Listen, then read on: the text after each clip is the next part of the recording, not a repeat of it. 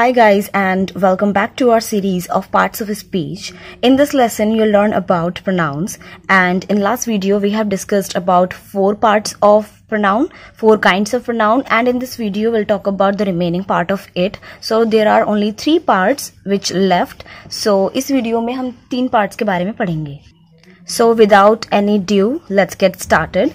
तो अब हम यहाँ पर बात करेंगे। लास्ट वीडियो में आपको पता ही होगा हमने किन चार पार्ट्स को पढ़ा है। तो लास्ट पार्ट हमने जो पढ़ा था वो रेसिप्रोकल प्रोनाउन था। और यहाँ पे हम स्टार्ट करते हैं अब आपके इसके फिफ्थ पार्ट की जो कि है रिलेटिव प्रोनाउन सो so, जो रिलेटिव प्रोनाउन होते हैं ये जो प्रोनाउन है ये जगह लेते हैं। They take place of nouns or pronouns, they are called relative pronouns and they always relate back to something or someone else. तो इसमें relative pronoun जो होते हैं, ये किसी और चीज़ के बारे में बात करते हैं, किसी और चीज़ से रिलेट करते हैं। ठीक है? कोई भी चीज़ हो सकती है, कोई भी व्यक्ति हो सकता है, कोई भी इंसान हो सकता है। तो जैसे कि इसका नाम है as the name suggest relative pronoun means these words will help us to relate something else किसी और चीज़ से हमें रिलेट करेंगे। तो जब आप एग्ज़ाम्पल देखेंगे you will be able to understand the difference यहाँ पर है they are use to join two sentences और ये दो सेंटेंसेस को ज्वाइन करते हैं द सेम पर्सन और थिंग किसी सेम इंसान की जिसके बारे में बात हो रही है सेंटेंस में, और दो सेंटेंसेस का से उसका लिंक है तो उन्हें जोड़ता है, उसे ज्वाइन करता है, ठीक है? Now as you can see यहाँ पर पाँच एग्ज़ाम्पल है। Who whose whom which that तो अब इन सभी के जो यूज़ है, इन सभी वर्ड्स का, वो अलग अलग चीज़ों के लिए होता है ऑब्वियसली और आपको ये पता होना चाहिए कहाँ यूज़ होते हैं, और अगर आपको किसी सेंटेंस में ये चीज़ें दिखती हैं सो आपको ये पता होना चाहिए कि इसमें ये प्रोनाउन का कौन सा पार्ट है. You you must know the difference कि हाँ ये क्यों यहाँ पर यूज़ किया गया है, और इसका क्या यूज़ है.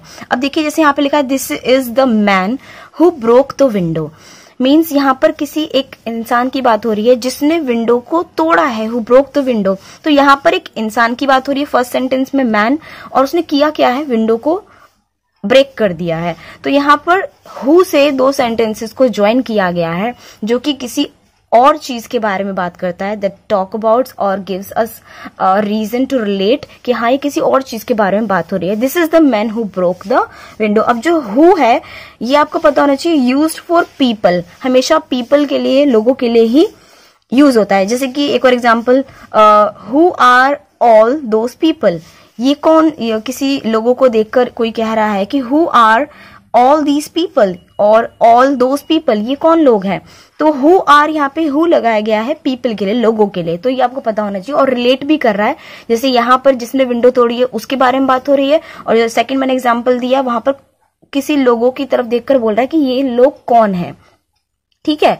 सेकेंड पार्ट आता है सेकेंड सेंटेंस है हुज तो हुज भी पीपल के लिए यूज़ किया जाता है बट एज अ ऑब्जेक्ट ठीक है? ऑब्जेक्ट कैसे? She knew the family she knew the family whose house we bought ये उन फैमिली को जानती थी जिनका घर हमने खरीदा। यहाँ पे हु जो है, वो एक्चुअली सब्जेक्ट की तरह यूज़ किया जाता है कि हाँ किसी के बारे में बात हो रही है। यहाँ पर ये ऑब्जेक्ट की तरह यूज़ किया जाता है। ठीक है शी न्यू द फैमिली ये जानती थी उन फैमिली को हुज जिनका घर हमने खरीदा। ठीक है थर्ड यहाँ पर आता है होम अब जो ये होम है ये भी आ, आप यूज़ कर सकते हो पीपल के लिए ठीक है? और जो हुज है जैसे कि हुज है इसमें थोड़ा सा पोजेशन भी यूज़ होता है। मतलब टू शो पोजेशन पॉजेस कि हाँ ये किसका है? जैसे कि उसकी कीज ठीक है? हुज कीज आर दीज या whose keys are on the kitchen counter किसकी? मतलब पोजेशन की किसका घर था? Whose possession sorry whose house तो ये उन फैमिली को जानती थी। तो हुज यहाँ पर यूज़ होता है पोजेशन के लिए भी मतलब मेनली इसी के लिए यूज़ होता है। अब जैसे कि यहाँ पर होम है तो होम है they have found the lady whom they want to interview तो ये यहाँ पर यूज़ किया गया है ऑब्जेक्ट के लिए। हाँ किसी व्यक्ति के लिए ही है, जैसे हु यूज़ किया जाता है होम यूज़ किया गया है, लेकिन ऑब्जेक्ट के लिए। They have found the lady उन्हें वो लेडी मिल गई है जिनका, या जिसका दे वॉन्ट टू इंटरव्यू जिनका वो इंटरव्यू करना चाहते थे। तो ये सारे वर्ड्स हैं आपके रिलेटिव प्रोनाउन विच यहाँ पे यूज़ किया गया है।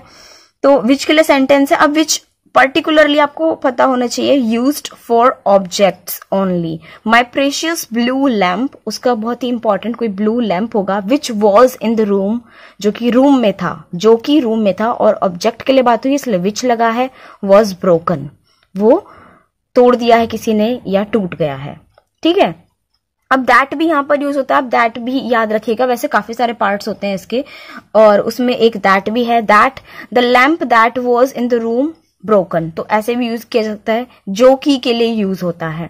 तो ये सारे वर्ड्स यहाँ पर जो है who whose whom which that आप इसके और एग्ज़ाम्पल देखिएगा तो आपको समझ आएँगे। पर यहाँ से भी क्लियर हो रहा है कि पीपल के लिए कौन से यूज़ होते हैं ऑब्जेक्ट के लिए कौन से यूज़ होते हैं। और there are some words which we use to show possession ठीक है? ऐसे ही थिंग्स के लिए भी अलग होता है रेफर करते हैं जब किसी रीजन के लिए, उसमें जैसे वाई वाई होता है। वाई तो उसमें हम रीजन पूछते हैं why are you doing this और वाई uh, जब भी यूज़ होता है that refers to any reason place के लिए भी होता है टाइम के लिए भी होता है सारे डिस्कस नहीं कर सकते क्योंकि ये बेसिक चीज़ें हैं। तो मैं यहाँ पे सिर्फ़ प्रोनाउन कंप्लीट करा रही हूँ ताकि आपको पता हो ये होते हैं और आपके बाकी एग्जाम्पल्स के आप सर्च करिए। ठीक है? इसके बाद सेकेंड आता है इनडेफिनेट प्रोनाउन तो इनडेफिनेट प्रोनाउन क्या होता है? Indefinite pronoun. A pronoun that does not refer to a specific person.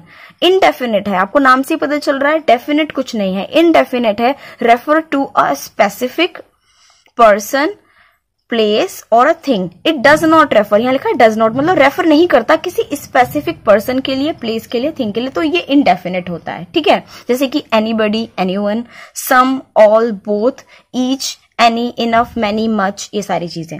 तो यहाँ पे लिखा है बोथ आर गिल्टी तो यहाँ पर फिर भी आपको पता है कि हाँ दो लोगों के लिए बोला जा रहा है बोथ आर गिल्टी लेकिन फिर भी स्पेसिफिक नहीं बोला है, ठीक है? मैनी पीपल थिंक दस मतलब वन और टू नंबर करके नहीं बोला है। तो हम इसे ऐसे ही मानेंगे anyone anybody some all और बोथ को भी, कि यहाँ पर इन्होंने स्पेसिफिक पर्सन नहीं बताया है। Many people think the same बहुत सारे लोग ऐसे ही सोचते हैं। Many people think the same का मतलब है काफ़ी सारे लोग, लेकिन कितने वो नहीं बताया गया है। तो इनडेफिनेट प्रोनाउन में जिनका हम number specific person place things का नहीं बता सकते each company is fighting for survival her company हर इंडिविजुअल कंपनी किस चीज़ के लिए फाइट कर रही है? सर्वाइवल के लिए, अपनी मार्केट में एग्जिस्टेंस बनाने के लिए फाइट कर रही है। तो ईच कंपनी बोला तो गया है कि हर एक इंडिविजुअल कंपनी लेकिन बताया नहीं गया है कौन कौन सी। And much has much has happened मतलब बहुत कुछ हो गया है। तो मच से भी कुछ पता नहीं चल रहा है, कितना हो गया है, किसके लिए कितनी चीज़ क्या मायने रखती है कि हाँ क्या हो गया है। तो ये जो सारे वर्ड्स हैं बोथ मैनी ईच मच ये आपको पता होना चाहिए कि इनडेफिनेट प्रोनाउन के अंदर आते हैं, जो कि रेफर नहीं करता है स्पेसिफिक पर्सन प्लेस या थिंग को।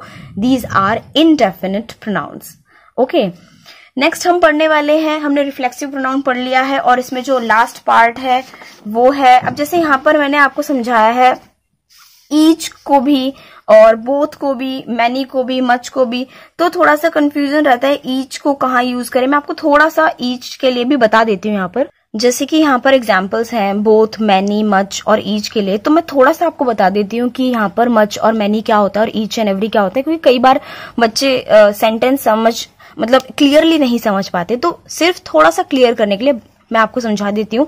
बाकी मैं इसे अगले टॉपिक में तो समझाऊँगी ही, पर थोड़ा सा यहाँ भी बता देती हूँ। जैसे कि पहली बात तो ये पता होना चाहिए first thing you must know और यू ऑलवेज रिमेम्बर कि मच और मैनी हमेशा यूज़ होते हैं लार्ज क्वांटिटी के लिए of something a large quantity of something much और मैनी दोनों ही। बट सबसे पहला डिफरेंस आता है मच जो होता है, वो अनकाउंटेबल चीज़ों के लिए यूज़ किया जाता है। हमें जहाँ काउंट नहीं कर सकते मच ये सबसे पहले पता होना चाहिए। और मैनी जहाँ पर हम काउंट कर सकते हैं काउंटेबल होते हैं और वो प्लूरल होता है। ठीक है, जैसे कि I don't have much time मेरे पास मेरे पास ज़्यादा समय नहीं है। मच टाइम अब ये पता नहीं कितना हम काउंट नहीं कर सकते टाइम को, क्योंकि उसने मेंशन ही नहीं किया, क्योंकि मच यूज़ ही नहीं होता मेंशन करने के लिए काउंटेबल चीज़ों के लिए अनकाउंटेबल के लिए होता है। He doesn't need much time उसे ज़्यादा समय नहीं चाहिए। तो यहाँ पर भी नहीं पता कि काउंट कर सकते हैं, कर ही नहीं सकते तो अनकाउंटेबल है। Does it use much electricity क्या ये ज़्यादा इलेक्ट्रिसिटी यूज़ करेगी? तो यहाँ पर भी स्पेसिफाई नहीं किया गया है कितना। तो हमेशा याद रखिएगा मच हमेशा अनकाउंटेबल चीज़ों के लिए यूज़ होता है और मैनी हमेशा प्लूरल काउंटेबल के लिए यूज़ होता है। जैसे कि there are not many chairs in the room इस रूम में ज़्यादा चेयर्स नहीं है, लेकिन जितनी भी होंगी आप उन्हें काउंट कर सकते हो ना। अगला है I don't have many friends मेरे पास ज़्यादा फ्रेंड्स नहीं है तो ऑब्वियसली ही कैन काउंट और शी कैन काउंट के कितने फ्रेंड्स हैं। Do you think many people will go क्या तुम्हें लगता है कि बहुत सारे लोग चले जाएँगे? तो यहाँ पर भी जब लोगों की बात की गई है फ्रेंड्स की बात की गई है चेयर्स की बात की गई है इन्हें काउंट कर सकते हैं तो मैनी लगेगा। जहाँ काउंट नहीं कर सकते तो वहाँ पर मच लगेगा। तो अब हम वापस चलते हैं लास्ट पार्ट ऑफ़ प्रोनाउन के टॉपिक पर। अब देखिए इसका लास्ट टॉपिक है reciprocal reciprocal pronoun we use reciprocal pronouns when the subject and the object are the same people जब हम सब्जेक्ट और ऑब्जेक्ट में जो जिनकी बात कर रहे हैं, वो सेम लोग हैं but you are referring to the two way relationship यहाँ पर टू वे रिलेशनशिप की बात की जा रही है। ये रेसिप्रोकल में आप जब एग्ज़ाम्पल देखोगे तो आप समझ जाओगे। जैसे कि Tom and Sara work with each other अब यहाँ पे आपको पता चल गया टॉम एंड सारा की बात हो रही है। वर्क विद किसके साथ काम करते हैं? ईच अदर एक दूसरे के साथ। तो referring to the two way relationship हो गया डेफिनेशन इसकी क्लियर कर रही है कि हाँ डेफिनेशन सही है और एग्ज़ाम्पल से भी क्लियर हो रहा है। Referring to the two way relationship Tom and Sara work with each other तो ये वर्ड जो है, ये है रेसिप्रोकल प्रोनाउन जो कि क्लियर करता है कि हाँ ये दोनों एक साथ काम करते हैं और they are referring to the two way relationship second example है work in a group help one another मतलब अगर हम ग्रुप में काम करते हैं, वो हेल्प करता है हर किसी की ग्रुप में। जितने भी लोग हैं वन अनदर सबकी हेल्प करता है। अगर ग्रुप में सब एक दूसरे की मदद कर रहे हैं तो सबको ही हेल्प मिल रही है। ठीक है? तो ये भी टू वे रिलेशनशिप को दिखा रहा है। When my family had dinner we hold one another about for jobs so so, यहाँ पे मीनिंग क्या है? होल्ड नहीं यहाँ टोल्ड है। यहाँ लिखा गया है when my family had dinner जब हमने फैमिली के साथ डिनर किया we told one another about our jobs हमने एक दूसरे को बताया मतलब फैमिली मेंबर्स ने सबको सब सभी को बताया अबाउट आर जॉब्स मतलब उनकी जॉब्स क्या क्या है। सो so, ये था लास्ट पार्ट प्रोनाउन का. और एज वी नो दैट कि यहाँ पर हम सीरीज़ चला रहे हैं पार्ट्स ऑफ़ स्पीच की तो ये उसका सेकंड पार्ट था. और नेक्स्ट पार्ट होगा एडजेक्टिव तो आप प्लीज़ इसे पढ़िए ध्यान से क्योंकि अभी इस क्वारंटीन टाइम में the best thing is to do get knowledge and अगर आप ग्रामर को लेकर थोड़ा सा टेंस है कि हाँ ग्रामर में ये चीज़ें हमें नहीं समझ आती थी क्योंकि मैं भी इस चीज़ पर ही काम कर रही हूँ टू मेक नोट्स और ज़्यादा से ज़्यादा पढ़ने की कोशिश कर रही हूँ इस टाइम पे। तो आप भी, अगर आपको ग्रामर को लेकर टेंशन है तो आप इसकी क्लासेस को अटेंड करिए, अपने फ्रेंड्स के साथ शेयर करिए, आपको अच्छी लगती है। तो ही लाइक करिए और कमेंट करिए कि हाँ किस किन टॉपिक्स पर और वीडियोस भी चाहते हैं। So thank you so much for watching this video and like our videos comment down कि आपको कौन कौन सी वीडियोस पर आगे कौन कौन से टॉपिक्स पर uh, आपको कंटेंट चाहिए और अपने फ्रेंड्स के साथ शेयर करिए। Thank you so much